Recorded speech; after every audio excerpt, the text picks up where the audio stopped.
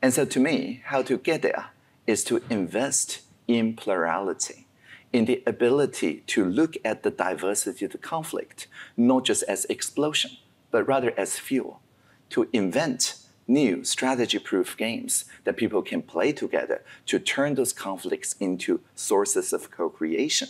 So that whenever AI harm happens, immediately the society look at those needs, address those needs together, incorporate that into the pipeline of using AI, and then AI become just augmenting our collective intelligence because we, the people, are the true superintelligence.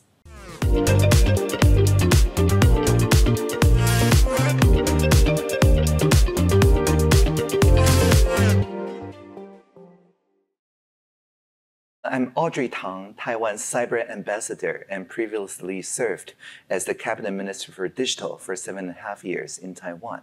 Uh, my main work here as a AFP fellow uh, with Joy uh, in Oxford is to marry the idea of care ethics to AI development. So instead of a careless AI that just maximizes profit, addiction, or things like that, we want to imbue care ethics in AI so they become attentive to people's needs and responding to those needs. What are some of the needs that you are seeing uh, that people uh, as they're developing AI, and what are some of the harms that you're seeing that um, are impacting people every day?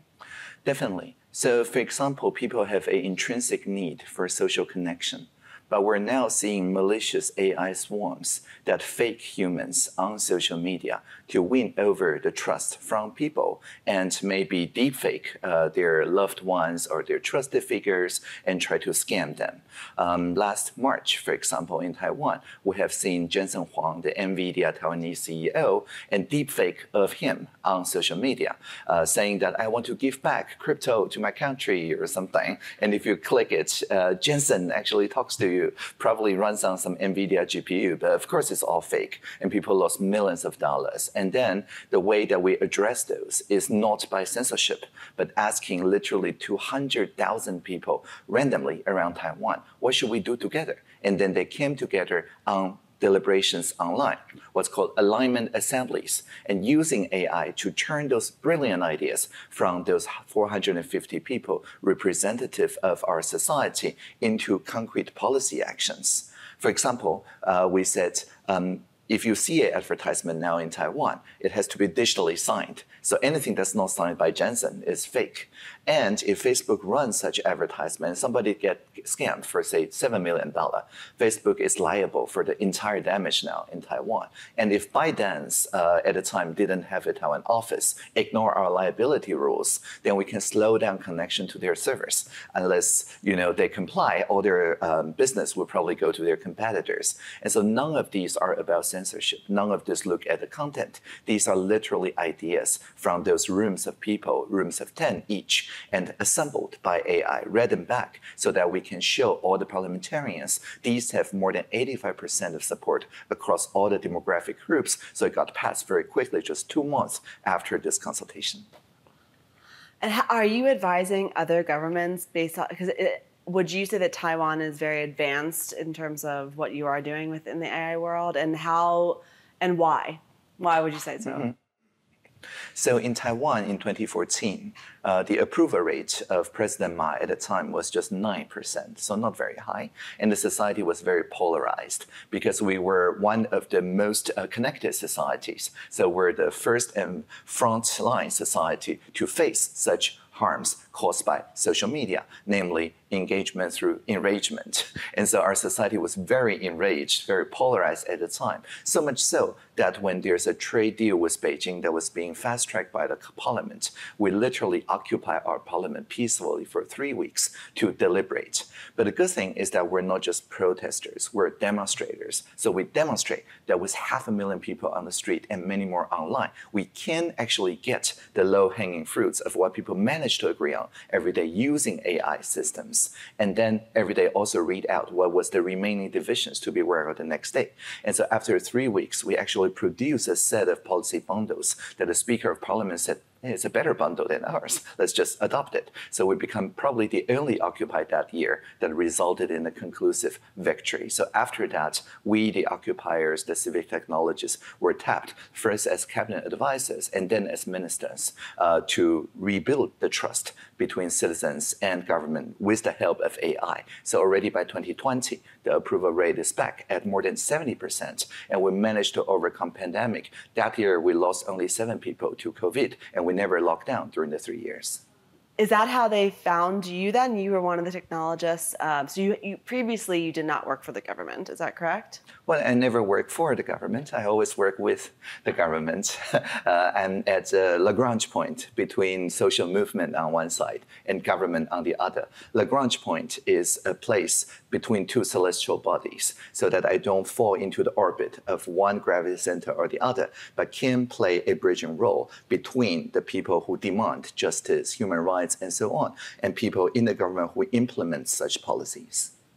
So, what are some specific AI harms that you are seeing today? Um, I mean, you mentioned a couple, but um, mm-hmm. yeah, name what are some other ones that, that people should be aware of? Mm-hmm, mm-hmm. Definitely. So we talk about uh, deepfake scams. We talk about malicious AI swarms that wants to basically win over trust so that you build a over reliance on such systems. And there's also much more insidious harms. Uh, for example, uh, instead of spreading disinformation or misinformation, which on the content level you can tell whether it's true or not, uh, this, this is now passe.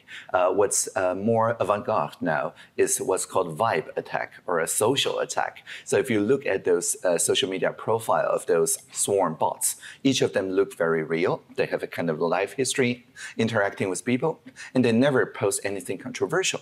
They just post something that they feel is a good vibe, is a bad vibe, and so on. But it creates a simulated reality so that instead of um, hell banning people, which is you post something and then nobody interacts with you, it's like heaven banning you. It surrounds you with something that flatters you, that's sycophant, uh, that um, you know tickle your fancy, uh, and then you become uh, much more um, self-reassured, uh, much more self-confident in holding those fringe ideas, and by those vibe attack gradually, they pivot you toward conspiracy theories and toward isolation from the rest of society.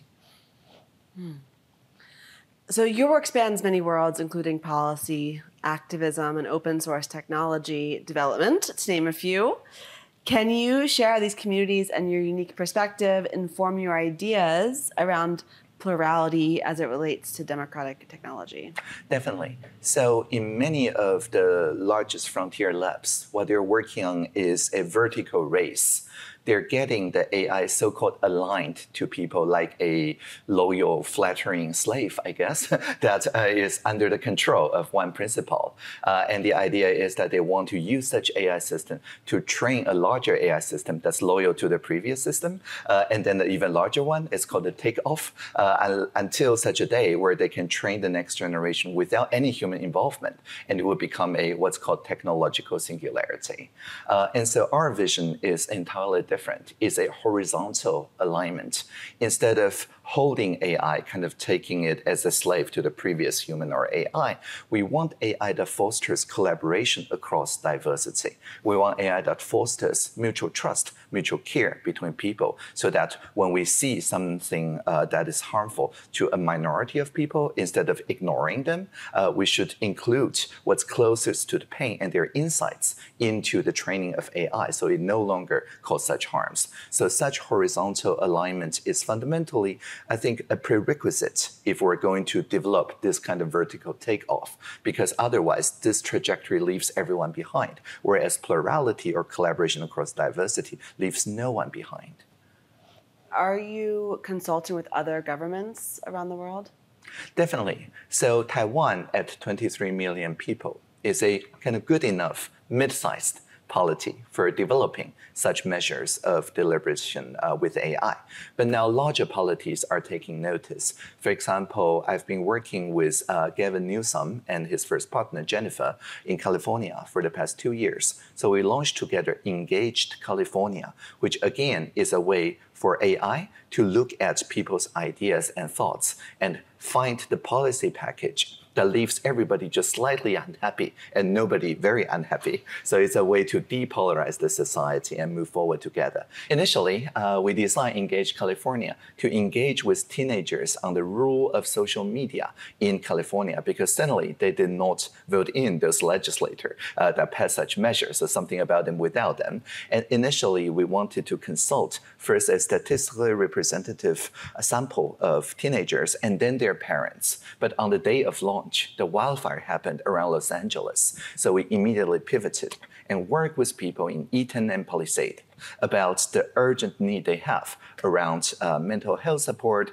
around how quickly they can rebuild, around the existing regulations about rebuildings, the NIMBY and YIMBY, and how uh, you know the wildfire makes everybody like NIMBY. Okay, maybe in my backyard if you only do this, uh, and so on. And so this system again using AI to synthesize people's ideas in real time, reflecting it back to the people to find this uncommon ground that people actually all agree with that leaves everybody just slightly unhappy, but nobody very unhappy. And so this is now uh, a civic infrastructure in California, and we look forward to put in much more uh, examples of wicked problems in California to citizens' assemblies around the Engage California platform. What, what is the future of, of AI you envision? Mm. So, um, and what will it take to get there? In 2016, when I first became digital minister in Taiwan, Taiwan did not have digital minister before. So I wrote my job description as a prayer, a poem, uh, to outline the Shu Wei future. Because in Mandarin in Taiwan, Shu Wei means both digital and plural. So I was also the minister for plurality. My job description goes like this. When we see the Internet of Things, let's make it an Internet of Beings. When we see virtual reality, let's make it a shared reality. When we see machine learning, let's make it collaborative learning. When we see user experience, let's make it about human experience. Mm-hmm. And whenever we hear that the singularity is near, let's always remember the plurality is here. And so to me, how to get there is to invest in plurality in the ability to look at the diversity of the conflict, not just as explosion, but rather as fuel, to invent new strategy proof games that people can play together to turn those conflicts into sources of co creation. So that whenever AI harm happens, immediately the society look at those needs, address those needs together, incorporate that into the pipeline of using AI, and then AI become just augmenting our collective intelligence because we, the people, are the true superintelligence.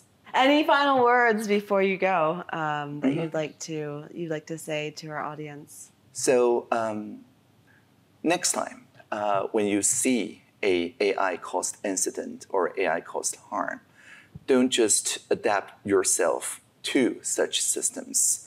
Don't give up your agency, because AI to me is never about authoritarian intelligence that aligns the society to the logic of AI. AI is always assistive intelligence that should align its logic to the societal needs. And we are the experts in our own feelings, in the society's needs. So don't inhibit those needs. Those needs are the North Star that AI should pivot and direct the development of AI.